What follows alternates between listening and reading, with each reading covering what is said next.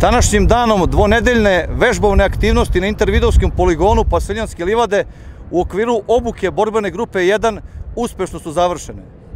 Obuka borbene grupe 1 u zimskim uslovima pružila je mogućnost pripadnicima borbene grupe 1 da osete kako je izvoditi borbena dejstva u teškim vremenskim i meteorološkim uslovima.